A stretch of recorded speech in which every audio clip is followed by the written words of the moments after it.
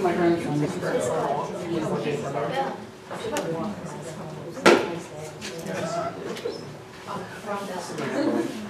She works at that and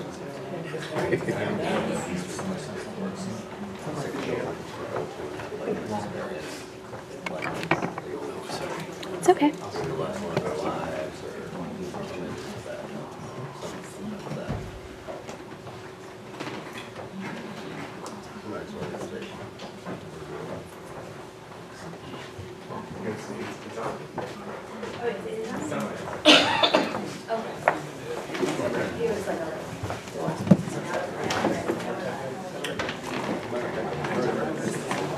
Okay, good evening, everybody. We're going to get started. Um, So welcome, thank you for being here tonight. We are, um, we are live streaming as well, so welcome all the people who are watching um, on our YouTube channel uh, as well.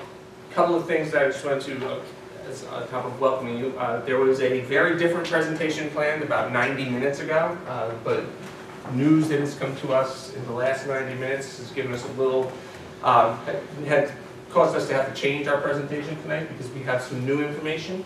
But before we get into that, I'm going to ask Ms. Heidecker just to talk about some of the other things that we're doing as far as um, reaching out and, and talking to our community about the budget and communicating with us. So she's just going to give a couple of examples of new things we're doing tonight. So as you guys know, we've been live streaming for a few years now, but tonight we're trying something different and we're live streaming from YouTube.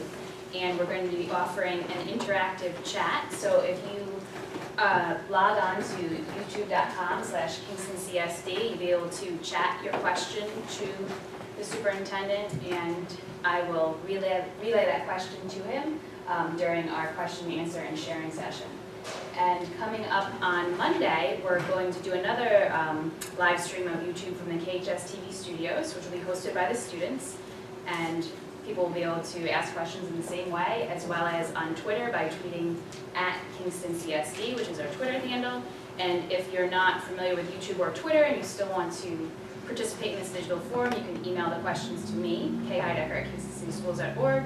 And if you're not on email or Twitter or YouTube, you can always call Camille DePerna, the district clerk. Um, so that's what we're doing as far as our digital outreach. Okay, thank you. So as I said, we had a much different presentation, and, and actually now we have a much more abbreviated presentation because there's a lot more questions. And believe it or not, when you get answers, sometimes it gives more questions than you had when you started. So we have more questions than we really have answers to right now. But I want to let you know what we know and, and also open up for conversation.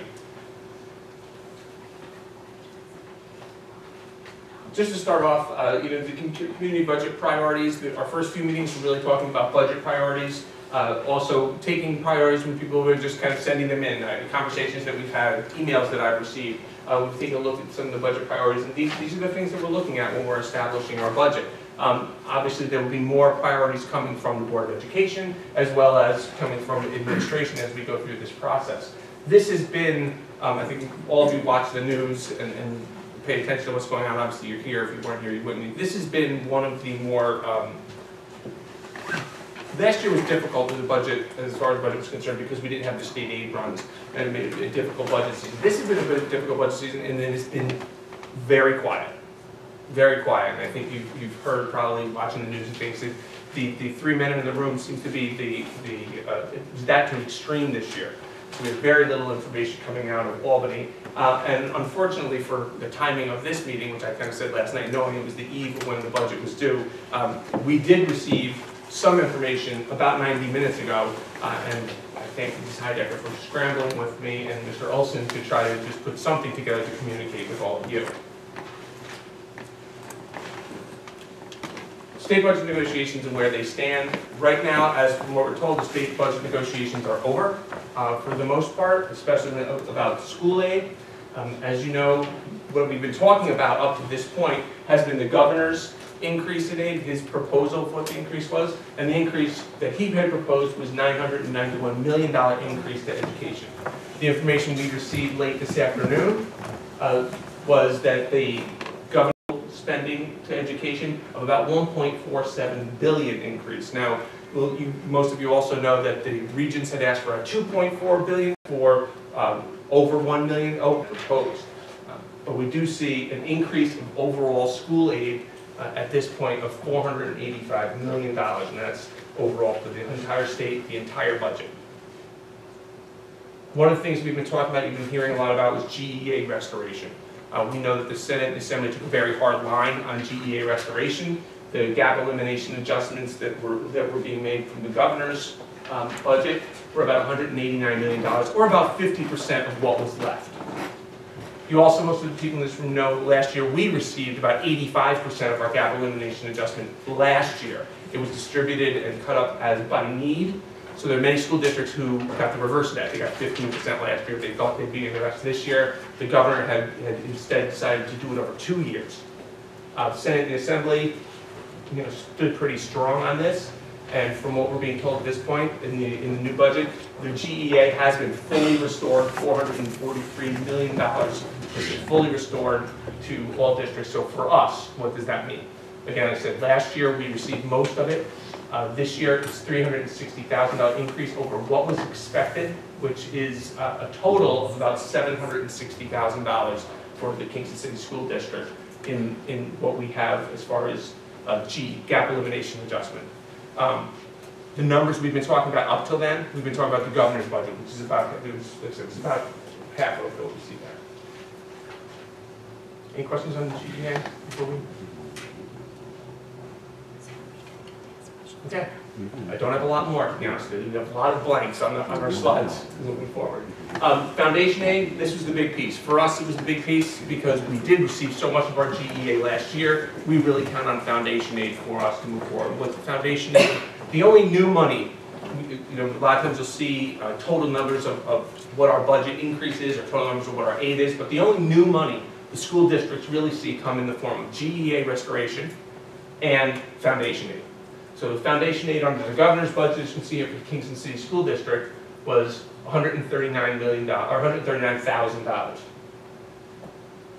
So it's $139,000 on a $160 million budget, not very much in the foundation aid. The governor was, uh, was proposing 260, mi- $266 million foundation increase statewide.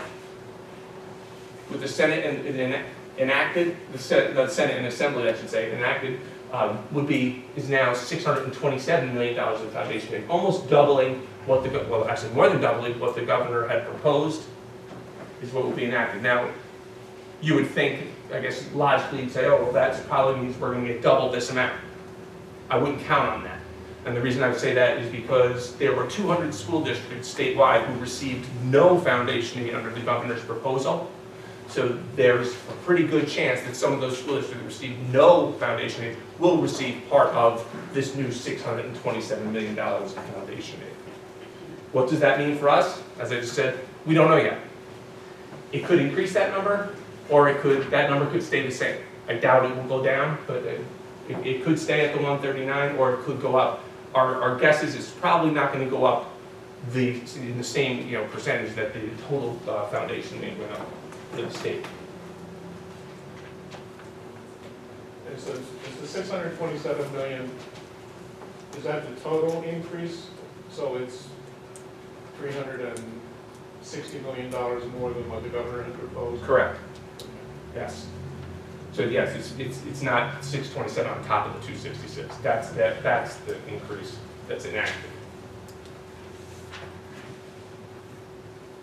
So like I said, we don't really know what that means for us, which kind of puts us in a, in, you know, especially for evening events like this, kind of puts us in a place where we're not really sure what our, um, you know, what our income, our revenues are gonna be. Ms. Custer, you Is there any paperwork at all at the budget at all for what we think the existing budget is and what it could be, could be if it just increased to just with cost of living or if we just move Our moved budget? forward? Yeah. Our budget, oh yeah, and in, in our last, and actually that's, that's up on our website, and all, our last two budget forms, we talked about our, our uh, appropriations, actually I have a slide here to talk about appropriations. What we're really, what, what the, In aggregate or in detail, like we used to see where, where you go through I don't know all? what you mean by what we used to see, I mean, we, we go, I give it in the, I mean, we, a line by line is not out yet. There's no from last year to this year with the increases that just come, you know, based on contracts and things. But like healthcare and stuff, we have an idea of what those healthcare We, increases will be? we just received, we actually just today received our increases in our healthcare and our, and we, we still don't have the increases in our contributions to the Kingston Teachers Federation Trust. So those are numbers that we don't, we just don't have yet. But the budget that's detailed goes to the board when? Like, the- Twenty-first. So between now and then, do we have a chance to look at the line? Oh, between now and then, that will be out, yes.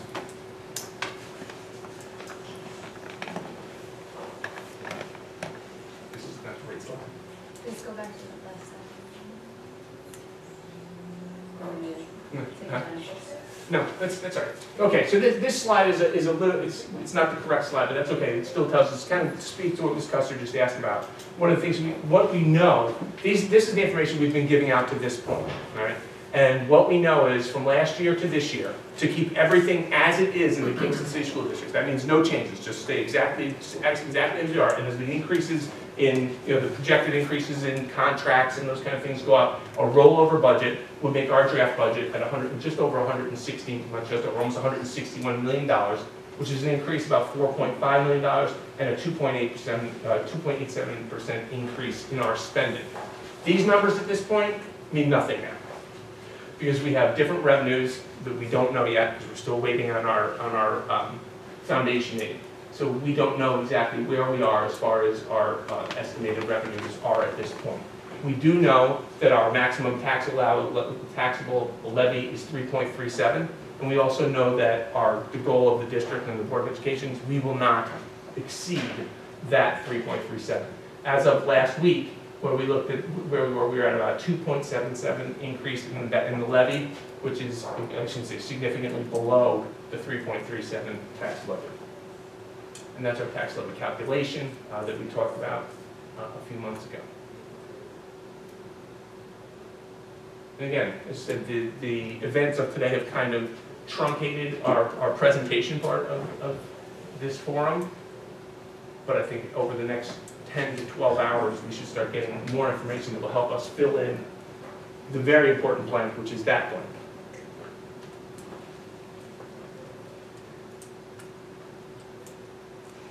Questions, comments, Can you anything? just go back to the appropriations? Sure.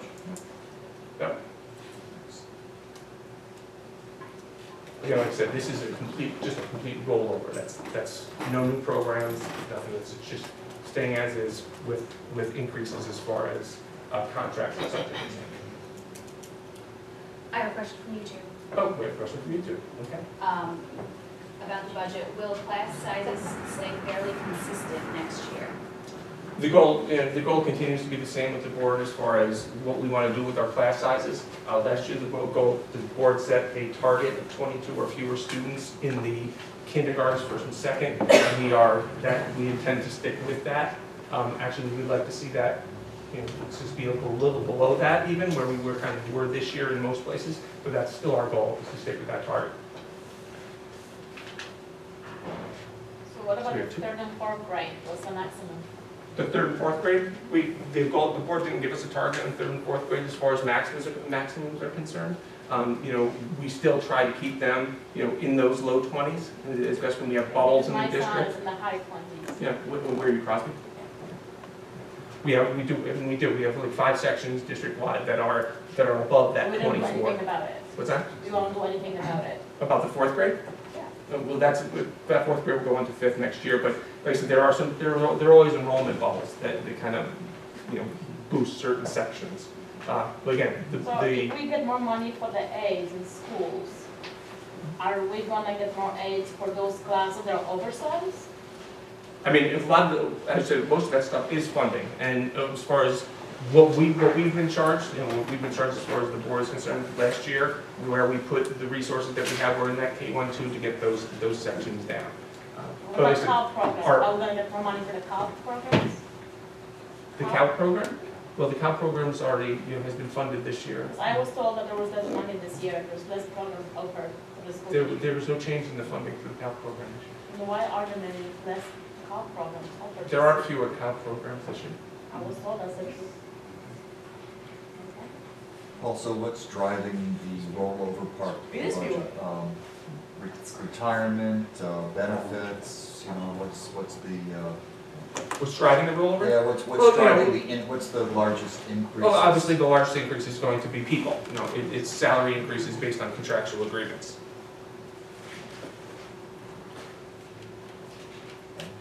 That's, That's it? I mean, se- yeah, really, I mean, seventy-five percent of our budget, more than, almost seventy-eight percent of our total budget is about people. So, I mean, really, you, you look at increases in salaries and step, and step for teachers and administrators and all of our, all of our employees. That really drives what our rollover budget looks like. What kind of percentage increase are we talking? Well, it's all, all, all in the contract. I mean, you know, teachers have a one point four, I think administrators have a little less than that. Um, So those all, those all drive that. Rollover budget's online, The rollover budget is, is online. well, our, our current budget is online, and rollover budget, that's just that number rolled over with what our estimate increases are from the, um, That's The what I'm contract. asking, that is online or not? last year's budget is Not, online. not the detail. Not the Thank- detail, thank yes. Yes, So in a school that has a very high special ed population that we learned last night that might have, the district average is twenty-three percent now, when it used to be much higher than that. And some schools, like Crosby, for example, a third and fourth class may have, a the school might have twenty-seven percent of its population being special ed. Mhm. And then that school is also now a focus elementary school. So I think the question on class size is something we're concerned with, but we're also concerned with if there is some additional money at all, will, because it's not a Title I school, we don't get extra Title I money to help meet the needs of those Crosby bubbles and those Crosby students who, for me, have the special needs or might be on um, economically disadvantaged. I just wonder how, if the board doesn't say K through two, or doesn't say three through four, when there's bubbles like that, and we know they're a focus school, and we know there's a higher concentration of children that need additional services, how do the community, how does the community, how do parents get, a- be a part of this budget process so we can help the board, because many of them are here, to know about it? Because we're trying to get the details so we can understand, has the actual funding for special ed gone down because the number of students have gone down? Has the price, the cost of special ed gone up? You know, it just, to me, right now, only one in four kids seem to be deemed special ed. And in the past, it seemed like it was much higher than that, so well, I mean, I think, I think, um, only one in four kids is, an- is, is a, is an interesting way to put it, because that's, we're about eleven percent higher than the state average as far as our classification rate. So only one in four, tw- twenty, one in four kids, but we've, we've hovered right around that twenty-five percent, um, classification rate since I've been here. So the, you know, as far as funding towards special ed, I mean, special ed drives a lot of, of our funding, and, and as you know, I know you know, uh, last year, one of the board goals was to strengthen that, sort of our inclusion model, and we did, we ended up hiring, you know, a significant number of special education teachers, so we could have that inclusion model, where we have, where we have special ed kids in the regular education classrooms, we have, uh, what we call a consult model, where we have a special education teacher in their half day, and then an aide in the other half, and the special education teacher goes to the other inclusion, so it's a flip-flop, so there's always two adults in that class, in those classes, where we have um, that integrated model going on. So, And, and that, that is the case at Crosby, is, I you're talking about Crosby. But it's like a one to fourteen ratio versus what those special ed students might have been used to with uh, 12, 1 to 12, Well, 12, I think, you know, and don't confuse the difference between special, you know, there's special ed students who are IEP students who are self-contained, which are 12-1-1, 12-1-2s, but then there are also special education students who have, who have learning disabilities, but they're not, it's not necessary for them to be in a self-contained classroom. So they have, they have needs within, the- within, you know, they have learning needs that can be addressed within a regular education classroom. And that's always been the case. What, what's different is, over the last two years, and even more, more profoundly last year, because of the board's, um, you know, directives and their goals, we- have more support in those classrooms. Those students were in those classrooms before. Those students were in those integrated classrooms before, maybe with a teacher's aid, maybe, maybe with a, a little bit of push-in, or one of our models was pull out.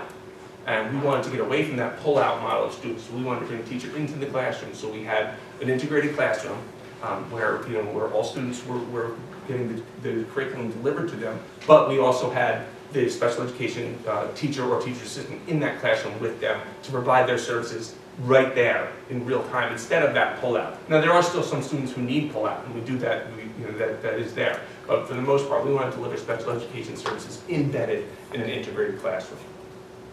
And I just want to talk about Title I for a minute, we get, we don't. we just get just a little bit over a million dollars in Title I money, and there's a hundred and sixty million dollar budget. Million dollars in Title I money does not go a long way.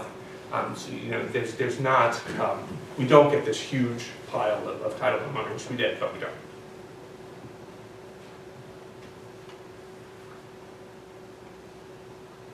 Just check your email. Anything new?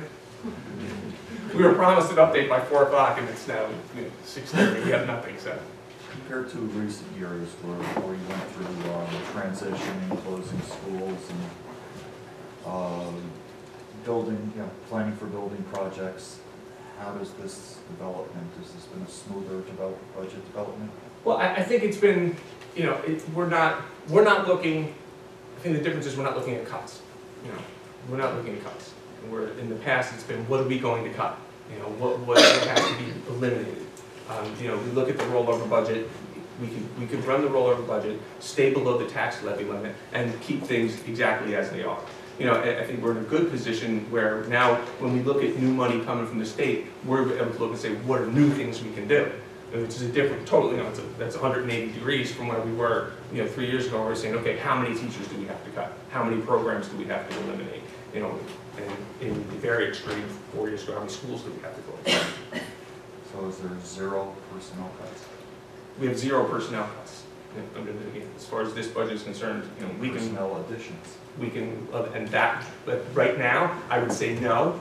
That will depend on what we learn in the next couple of days. I mean, we, we did hire thirty-five new teachers last school year.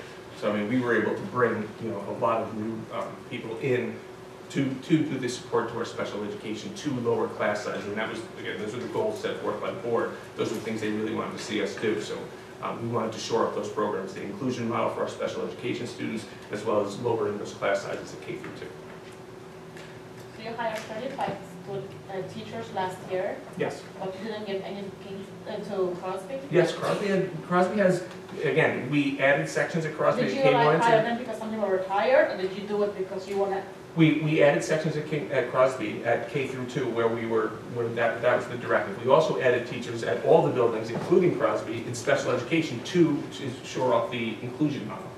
yeah, I was just wondering if you added teachers because they were retiring, or is it because? Well, that's not an addition, that's a tri, that, that's a, you know, that's just a replacement.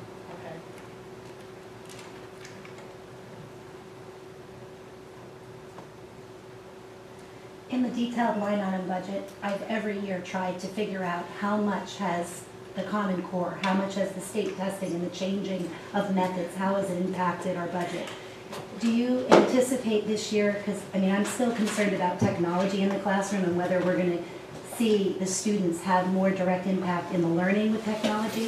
It seems so much of technology is used for the tests, and I'm just still, I'm, I'm wishing that there's less worksheets for my, my children in fourth grade and eighth grade and see more hands-on. So I thought at one point we might get tablets that might be available so that the teachers didn't need to use, you know, textbooks, but they would actually have tablets that would have the material on the tablet and that the kids, like some grade, they would start moving up, that it would be more of a technological type of learning in the classroom. So I know we've got great smart boards in all the classroom, and I know we have a few laptops, four or five for every class, but I'm just not seeing how the learning is impacted by the technology, and that was something I was really interested in, to see how we're utilizing the money, what, if we get any extra money, to really improve the students' learning with technology. That, actually, that's a good question, it's pretty timely, because we've had a discussion about this this morning, um, when, with, uh, the assistant superintendents and deputy superintendents, but just let me say, we, we do have a pretty, um, aggressive Chromebook initiative going on, that we're going to expand next year as far as having tablets, and, you know, Chromebooks aren't the same as tablets, but it is, it is technology in the students' hands.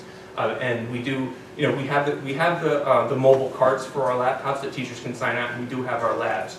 Uh, One of the goals set forth by the technology plan was to have a certain number of, of uh, computers in every elementary class. And and what we found and what our technology people recommended was that the actual, you know, the, the regular desktop computer was a better computer to have in, you know, stationed in the classroom. Those are kind of war horses, you know, they, they, they- they're, they're powerful, they're inexpensive, and they last. You know, we- use a three to four year warranty on a five, on a- or a computer that lasts five years. But one of the things, let's just talk about two things. Number one, we just, in cooperation with um, Ulster BOCES, we just won uh, meeting on asking for, for, for next year. So it's one of the things that we wait on these numbers to see if that's something we can put into the budget. So for me, Chromebooks is happening in Ellenville sixth grade class, and that group is gonna be having it in seventh grade class. So the teachers were trained in sixth grade, and now they'll have it in seventh grade. So I'm real excited about that Chromebooks idea. I asked my eighth grader, he's excited at the eighth grade level at Miller, I hope it's the same at Bailey, but they're in their social studies teacher, for a full week, they have access to the computers. And for a whole week, it's very engaged technological learning in a social studies arena. For me, I'm hoping that in technology, because he also has the privilege of being in that program, which is more technology driven, but it just doesn't seem they have as much access to actual technology. It's more woodworking. So I was just wondering, you know, is it technology throughout, like elementary, middle school, high school, and technology has a little bit more? So Kingston is like the old IBM school, you know, the idea, like I thought my kids would go to Kingston and they'd have really great computer experience in technology. Are we moving in that direction so there'll be more computer type classes? Oh, I mean, we definitely are moving that direction. Even at the, at the middle school level, one of the things we've done is that, that um, curriculum has been converted from that old, from the old idea of what technology was when we all went to high school, where we built, we built uh, bird houses and things like that, to more use, to more computer-aided design and things like that through, through using technology. You had a question? Yeah, um, so we're still waiting on the numbers from the state budget, but I'm Do you just, have one? uh, I don't. On the computer? I thought maybe you were gonna tell us. Uh, I wish that I did. Um, I'm, I'm, uh, on the edge of my seat, but I'm curious, um, you know, depending on what kind of funding does come through, what would the school district like to do with foundation aid and that, that influx of state funding? Yeah, I mean, I think that one of the things, and, and the board will weigh in on this obviously over the next, over the next month. Um, and one of the things, one of the reasons for my meeting with my administrators this morning was after they got their feedback from the building principals. But I think, you know, we do want to continue to support the things that we've put in place to this point. You know, we want to continue the, you know, continuing low class sizes and, and even looking at making them smaller and looking at more, you know, more student, or fewer students to, to uh, adult ratio in the classrooms. Those are things we, you know, the board has been committed to, and we want to try to further that. We are committed to, you know, strengthening our special education program, and that, that is a very, big- a big part of what we're trying to do. And, and as you know, probably people know, who've seen me present in the past, you know, I talk about graduation rate all the time. And that, that's, to me, I talk about graduation rate, because everything we do, you know, if, if, if our charge is to make sure students graduate, you look at everything we do up to graduation.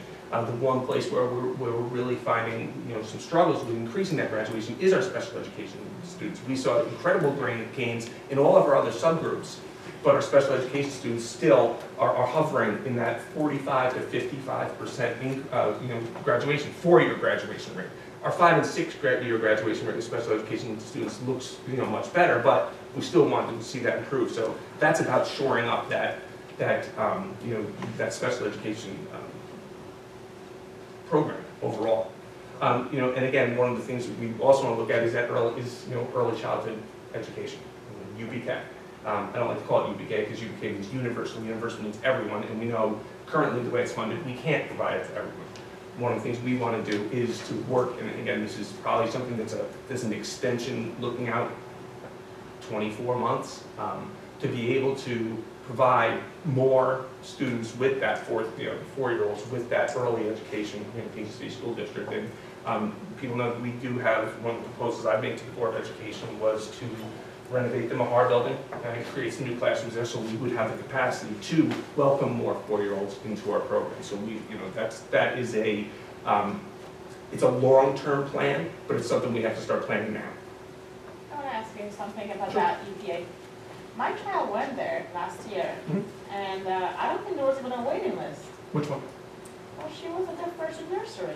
Right now, we have, what's that? Do we need more Well, we have, we have, and we, we've actually have a, we're doing a study right now of how many students we aren't serving and why. So what we know right now is we have about 250 four-year-olds in, in Kingston City School District who aren't attending our pre-K But is it because it's two and a half hours only long and people have a hard time to get there at nine AM and pick up at eleven thirty? Because I did that, and for me to get it at nine, by the time I went grocery shopping, it was time to go back and pick her up. So it was more hassle to go back at eleven thirty to pick her up than actually, you know, These are, the- these are exact, that's, those, that's exactly one of the questions that we're asking. We have a survey out to parents right now. I am a homestay mom, I can do that, I Yeah, and let me answer your approval. question, please. And that's exactly what we're doing, which you're, we're asking people why. If you're not bringing your student to us, why? Is it because of transportation? Is it because it's a half day? Is it because, you know, you're, you're going somewhere else. as because you work in Newburgh and you bring your kid down there and, and put them in the, your child down there. So we want to find out exactly why. What are the things we need to change about our program to put them in. This year, every single one of our UPK slots is filled. We have no we have no extras if kids want to come in at this point. Well, it's a little late, but there would be there would be a late waiting list. So we and, and we're a partner. We partner with um, our local agencies as well. So it's not just here. It's also we have about 13 a little less than that, right? It's eight, seven, eight. Yeah, so we have about seven or eight, um, privates who do, who also do, uh, pre-K under our, under our supervision. Um, a lot of those, a lot of parents take them there because they do stay that full day, you know, then they pay for the second part of the day. So we've experimented at JFK with a full day program, um, the last year and a half or so, and we've seen that that program has stayed full. So, again, we're asking, that's, that's one of the things that, the questions that our consultants are out there asking, why, why aren't you coming? But that's, that's a perfect question, you're right, that's what we want to know. well, like I said, my daughter loved it.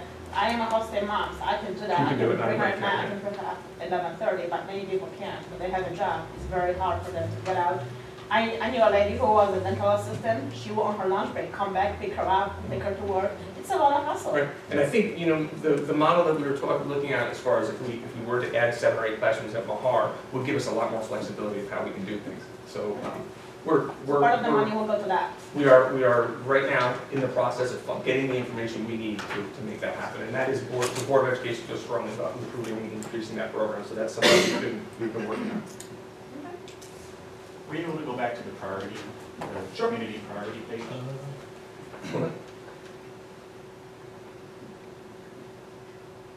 This one, right, the priorities. But where were these priorities established? Were they established from the board or from the district or community input? This is, this is the list, pretty much, actually, we didn't really even edit it. This is the list that was, that was made up during our second budget forum here. Um, So this is what we got from people, and also this, I've included in there some things that I received from people via email. I got a couple emails of people saying, hey, I missed the meeting, but here are some things that I wanted to have on there. So we put those on there. So this is about people who attended the budget forum, and uh, this isn't, this isn't the board's list, this is people who were here. That's what's community budget priorities. We also, we also asked for efficiencies, and some people had- thrown some efficiencies in there, and we wanted to make sure that people knew that we, we didn't you know, not pay attention to that. So to, to address these, that would be the difference between the tax levy of two point seven seven and to the max, or, um, right now you're sitting at two point, what is it, two point seven seven? Yes. Is that what it is? Mhm. Without doing anything? Right. So if we wanted to do something more, if we wanted to do the full-time TAs in the classroom, catering Right. classrooms, then that would be an increase to that two point It's an, it's an increase in revenue, one way there, which, which, where's that revenue coming from? Is it going up in the tax levy, to, to the, to the tax levy limit? Or is it maybe getting more revenue through state aid? I mean, th- those are the kind of things, or a combination of the two. Um, I think that, that's, that's what the board has to decide when we, when we- comes to and say, okay, this is where we are, this is the, this is the tax levy limit, and, and they say, okay, well, the tax limit is three point three seven. You're, pro- you're pro- proposing two point seven seven, but we wanna go, we want that extra, you know, few hundred thousand dollars that we're gonna get in that going all the way. So we're willing to go to the taxpayers with that increase, and state officials, you know, nobody votes on the state budget. Nobody votes on the federal budget. No one votes on the city budget. There's only two places where you vote on the budget. School district and the libraries, right? So, you know, there's, there's no one asking, you know, no one's really asking, um, so, so looking at where we are at the it's in, I, you know, I always say, uh, just one of the things I've said all along, you know, every year, I have the same budget goal, to balance the needs of our students with our community's values and their ability to pay. So we, so it, it's that fine line that we walk, so again, the board gets a better, uh, has, has the feel for that, understands what they, how they want to do it, and what they want to do the, as far as the tax levy is. Um, this year has a, there's a, it's a, an interesting year in Ulster County in that a lot of districts' tax levy limit is very low, very low, because the- we, because of the way our tax um, cap calculation went, because we have, we have building projects, we're a little bit higher than us, so we're able to, to um, go to about that, that three point three seven, where others around us, I mean, New Paltz isn't a negative. as, uh, they'll go with a zero, uh, tax levy. So it's a little bit, um, it's a little bit of an odd year as far as the tax levy calculation, but yes, that, that's where that would come, the would come from, the difference between the, you know, an increase all the way to the tax levy, or hopefully, you know, increase in state aid.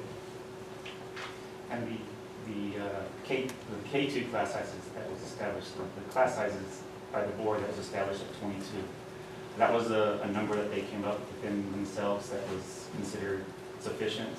That was the, that was the number the board had asked us to get to, um, and that's what we worked for.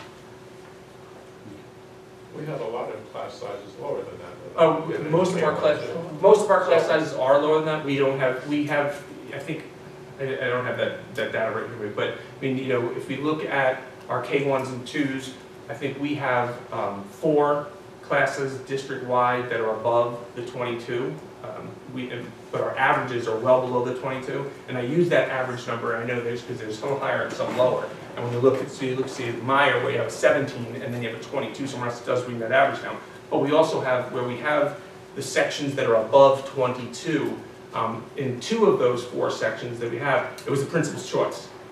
Because we have a class, we have, the average in that, in those sections would be below twenty-two, but the principal had made a choice, working with the teacher, and again, that, that's flexibility I want to give our building leaders to be able to say, hey, you know what, this teacher can handle this group, or, or this teacher, you know, wants this size group, whatever. Um, it- so I give them that flexibility, so when you look, you know, at, at some of the classes, when we say one of the sections, we have three sections, and one of them is over twenty-two, but the other two are seventeen and eighteen, that's the principal's decision on how they, you know, how they distribute their class, and we want to give them at least that autonomy within their buildings, because they know their teachers and they know their kids better than we do. Discuss. Um, with the students that, um, drop out, it seems that there, many of them have been suspended or have been held back at some point before. Does the district have a plan, and I couldn't read it, and I'm sorry, I actually haven't seen that one-page document, and our Wi-Fi here is not so great, so I can't even get it on my phone. But I'm concerned for those kids that are getting suspended, because the first time they get suspended, I just heard you guys talk about restorative justice and stuff. What would it cost to have true in-school suspension for those kids that are gonna be a risk somehow to staff or to students? That if they're gonna be out of school twenty days or thirty days, to me, I don't think much good is gonna happen at home, but they are gonna get to come to night school, which we have, and that's four days a week for two hours. So instead of having 30 hours of schoolwork, they'll have eight hours of schoolwork. Those kids are behind, those kids have behavior problems, those kids might have been in class sizes that were too high or they needed more attention. So if we're doing inclusion and it's helping them earlier, I'm very excited for those other kids. But there are kids right now that I know are on the list, like you said last night, that, to, that might not make it their senior year, might not make it their junior year.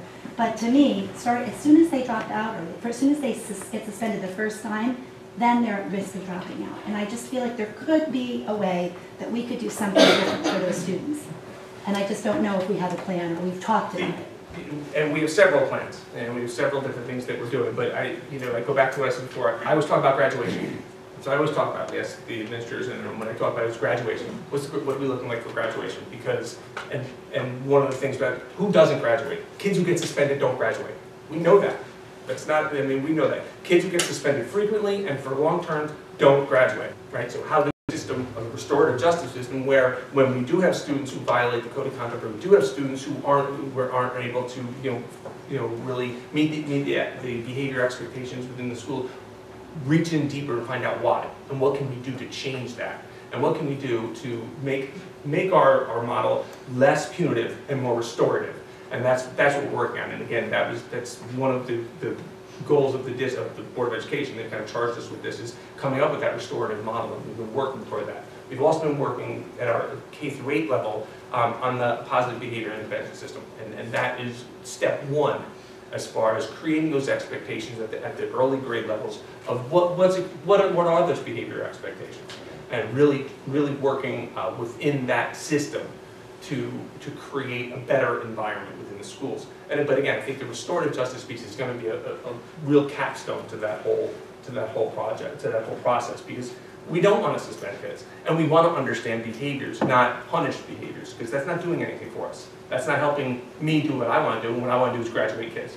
So with this, the taxpayers and our community's ability to pay, if we could say the restorative justice piece would cost the Kingston School District four million dollars, and if we did that now, therefore we increased our tax levy, it would, to me, save the taxpayers money, because less kids would be in jail, less kids would, would be less, less, less, less, and it would go. So I want to know if there's a, between now and April twenty-first, when it goes to the board, is that program, is that plan, is those finances available? So we could, parents, and we could, community members, go door to door and say, we really want you to support this budget and go to that tax levy limit, because we know that in some schools, eighty-five percent are poor, you know, and are, are, um, you know, economically need help. But we need, we need a new system. So I love the idea of the possibility of full-day pre-K for kids throughout the district with transportation.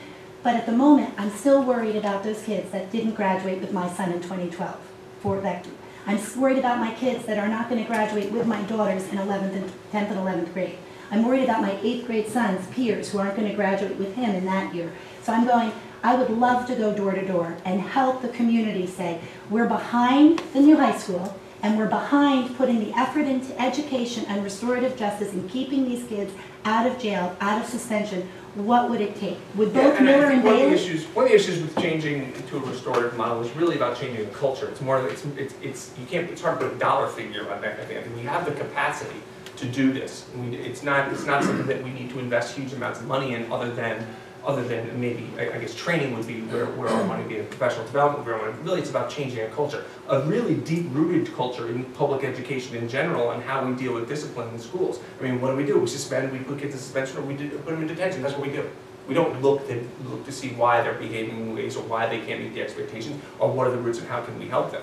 Um, one of the other things that the Board of Education, you know, uh, chose to, uh, fund more last year was more social workers. You know, and we were able to put more social workers at the middle and the high school levels, so we could have some more, some more people to help us with that. Again, one of the administration's requests will be going forward for, for more support in that area. And I think that's something that we will, we will be bringing forward, um, to, to look, see what, what can we do as far as, you know, providing that extra level of support. And that does everything, I mean, that, that, that adds to a lot of things. That talks about school culture, that talks about, you know, helping us with our PBIS, that talks about helping us instill the, the whole idea of having a restorative justice model instead of a punitive model.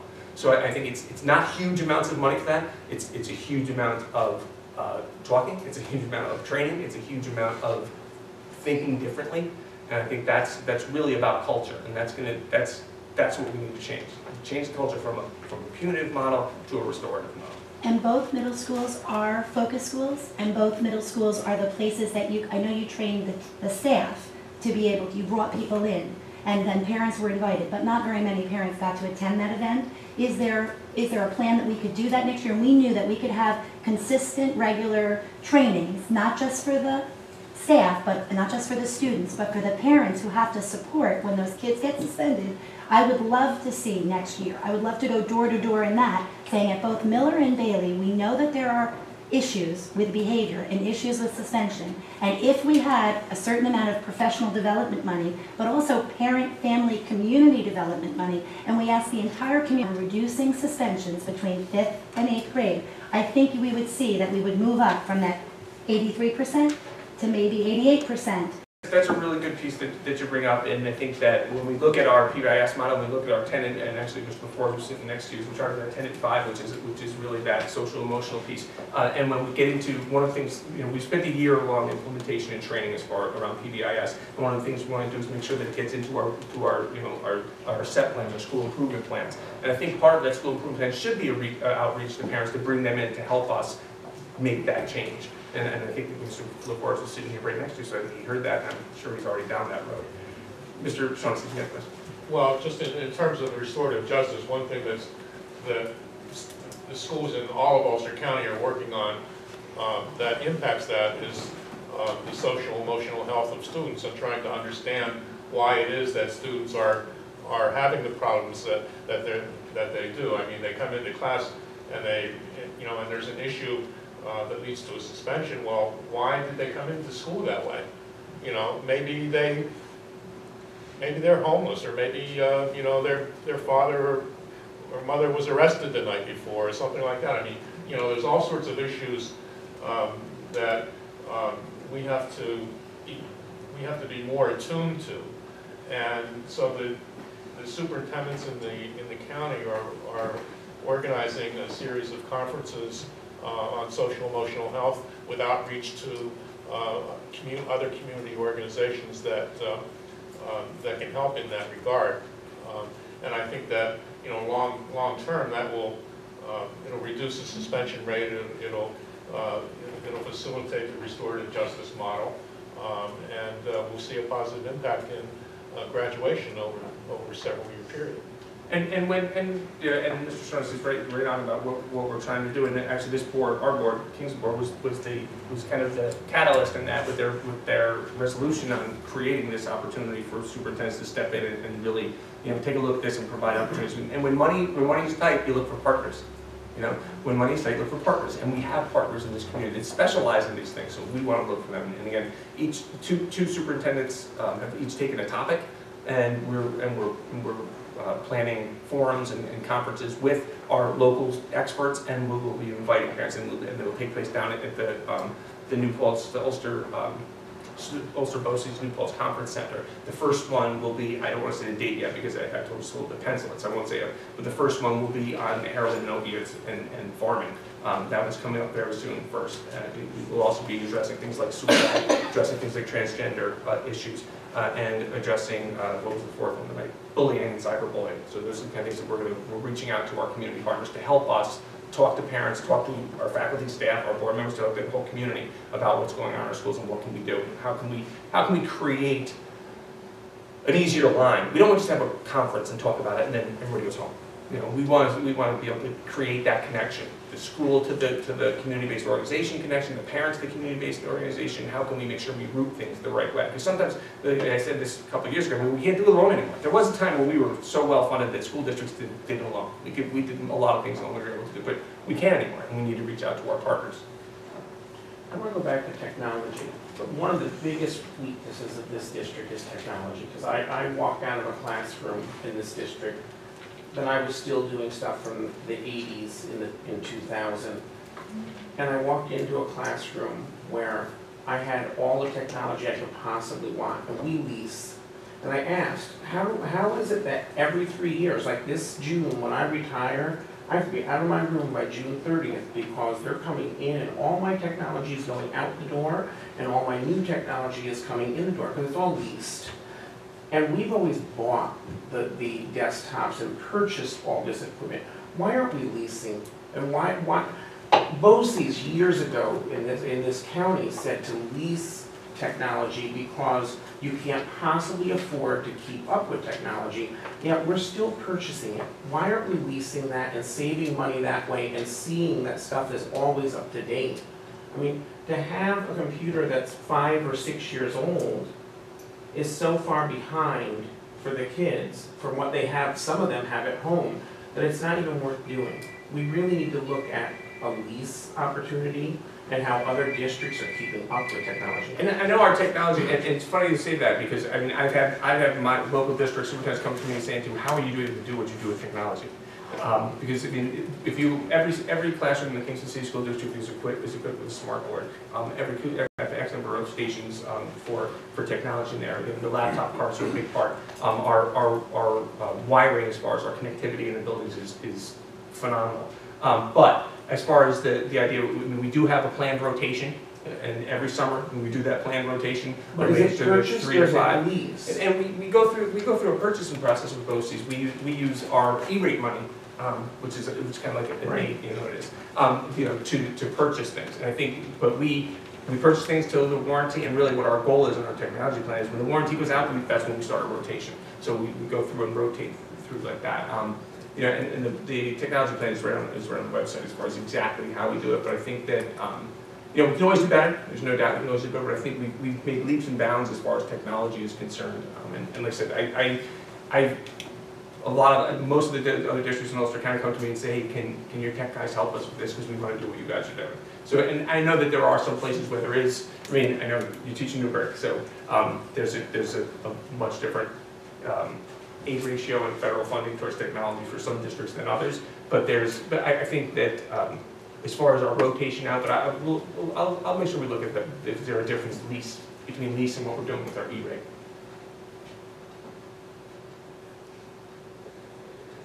one final question on, on class size again. Sure.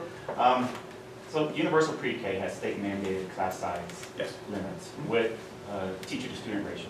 yes. Um, at, they're better than one to seven, um, teacher to student ratio. What happens between that UPK timeframe when they're three and four year olds and they're moving into the four or five kin- kindergarten classroom, where now we have a class size max of thirty with, uh, you know, a school board recommendation of twenty-two, but even at twenty-two, you're still looking at a one to twenty-two ratio. So they just came from a one to seven environment to a one to twenty-two environment. What happens in that one year that prepares them for that kind of uh, burden?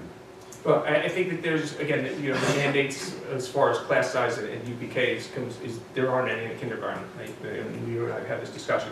Um, but the, you know, and we also had this discussion where I say our average class size in Kingston City School District is nineteen, it's not twenty-two in our kindergartens, and we've brought them down. And, and as far as the, It the, still has a one to twenty, one to nineteen. yeah, I, I understand what you're saying, and I From a think one to the, seven. the UPK, our, our requirements of UPK are, are two teachers for every nineteen. Is that correct, Mr. Bird? Uh, e- eighteen, It's eighteen and then. eight- eighteen, and then they have to have a teacher and a TA. If there's They eighteen. Right, maximum of twenty, and then they have to have two Two TAs. That's, that's, he's talking about UPK. Teacher and two TAs. No, At- oh, my child. Nineteen and twenty. Yeah. We don't have TA and a teacher. No, he's talking about UPK, not in regular care. Oh. in- Oh. No, at UPK they. UPK, state we mandated. Oh, yeah, they So do. the regulation Yes, for the UPK funding that we receive. Right, the regulation for the UPK funding is that there's, at 18, there's a teacher and a teacher assistant. At eighteen, teacher. Right. Nineteen and twenty is teacher and two. Two teacher assistants, correct. Two T, two TAs. But you go from this great environment to this, you know, one to nineteen. That's a, a struggle. I, I, I, see it every day when I go in and volunteer. Yeah, I, I mean, I think, I don't, I don't think we, I necessarily disagree with you on, on the size. I mean, I'd love to see a, you know, a two to 18 ratio in every one of our classrooms. I think that's, I, I don't disagree with that at all. Um, again, we talk about, we talk about, it's a funding issue, you know, at this point. Um, where do, where do we, you know, who's going to properly fund pre-K? Who's gonna properly? I mean, think about this. So we have regulations on what, what we need for UPK to get the funding, but we don't have to have kindergarten. I, that is, that is the shocker, yes. Kindergarten's not even mandated, we don't have to have it, you know? Yes, So, so it's, it's an interesting, and if you look at the teacher's contract, our, uh, what we can contractually put in kindergarten is larger than we can put in fifth grade. So I mean, there, there's a weird, there's a weird thing going on there. Um, but I don't, I don't disagree with you that I think the teacher assistant there, again, that, that's a, a funding issue, and we look and say, okay, well, how do we wanna create that priority? Do we want to create a priority where we say, okay, we want, do we wanna say, no, let's not do that early four-year-old and do this instead? Um, would that, would be a greater benefit for us? I, I think those are interesting conversations that we should have. And this year's seniors are the people who started the first kindergartens that were not half-day but full-day. So to me, it's like been 13 years since those kids that were seniors got the first, you know, full-day kindergarten. And it was parents and communities coming together, asking these questions at budget forums. And they actually made a really good financial, cost-effective, because it was working parents saying, we really need this. So at the moment, I'm, I'm continue to try and really make what's we need to happen in kindergarten happen. So I love the idea last night. I just want to say it again. I heard it at, um, from JFK, the principal. She said, we're doing something special. We'd like to consider the possibility with more funding, there'd be a kindergarten academy like we do a freshman academy. There were other things that I heard that I thought was amazing. Like she said, we do home visits. Either principal or the social worker, we do home visits for any kids that are having trouble with attendance.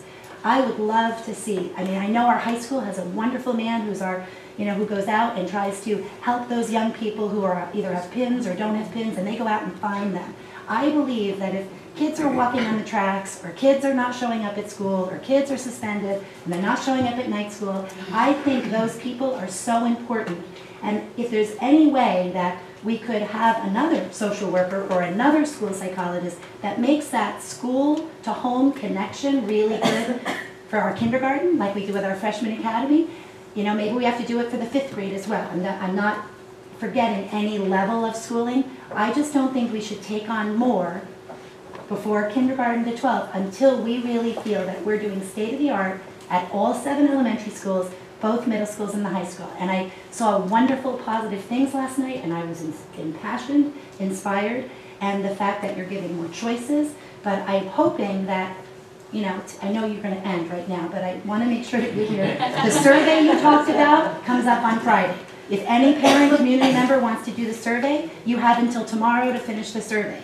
If you can tell us when the next budget meeting is, I just, if there's people who are stuck in their homes, I as a parent, a district-wide parents council person, I'll do home visits to people who are worried about the budget and want their voices heard here, like you're doing technology. I tried to put my questions in YouTube, I'm so sorry, I'm not technologically savvy, although I have the newest, I couldn't figure out how to do it, I asked the person in charge, he doesn't know how to do it. So yes, parents need training, even those of us who have degrees, this is, I could ask my kid and they could have done the questions, but I really, really hope that the things that you're doing, the way you're texting people, the way you're sending emails, those types of communication is gonna help. But there are more people who are willing to be the advocates and that we are working together from the staff to the school board and that this budget process from now until May 19th, it's usually my son's birthday, if there's a way that It's we May can- seventeenth this year. May That's my 17th this year. birthday. All right, so Dr. Catalina's birthday, for his birthday, you know, if there's any way that we could have more people involved in this budget process,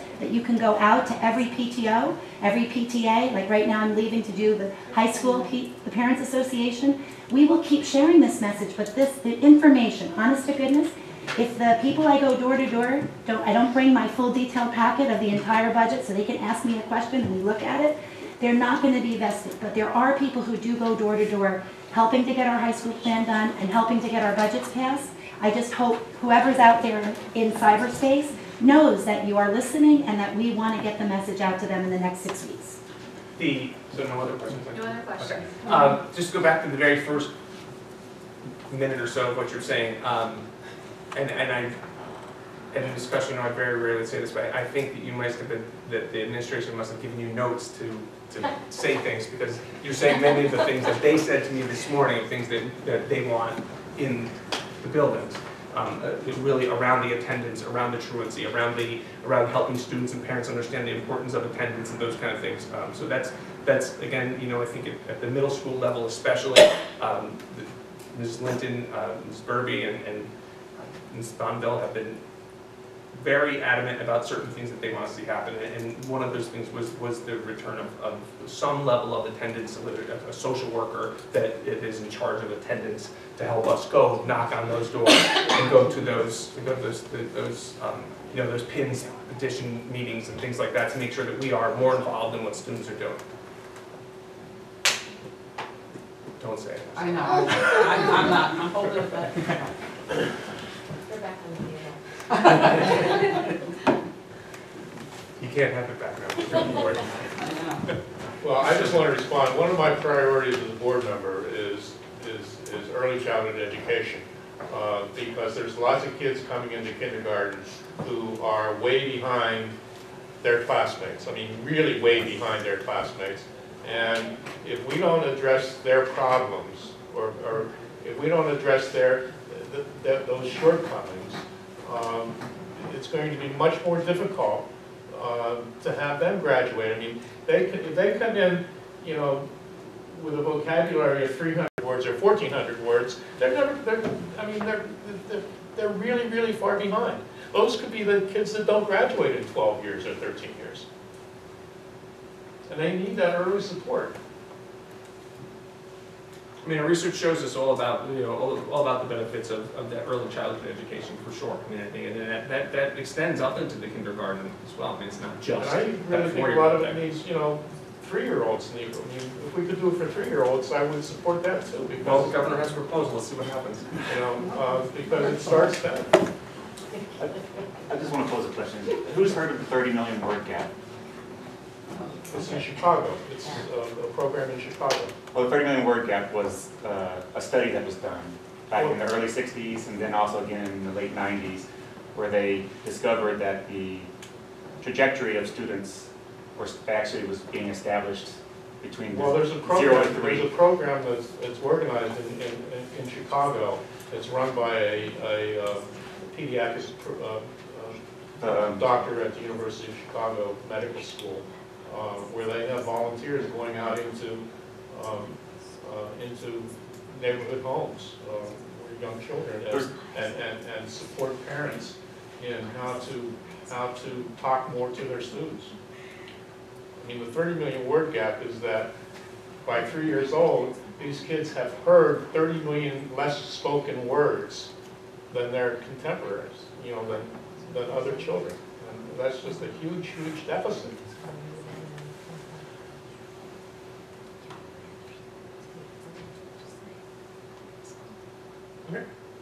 I thank you very much for being here, I appreciate it, again, this is one of our better attendants, I really appreciate it, I'm sorry we get more through um, YouTube, but we'll keep trying. Uh, Monday, we will be doing the online, uh, kind of same thing, I'll be at K- K- uh, KHS TV, and I know it's not at at the greatest time for a lot of people, but we really want to get the kids and the students involved and understand the, the budget process and, and how it affects them, so we want to have them participate and, and be, and then our KHS TV kids just like to do this stuff too, so they're really into making that happen.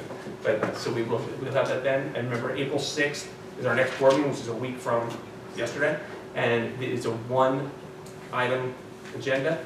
Uh, we're only talking about the budget. So welcome people to come out. Thank you.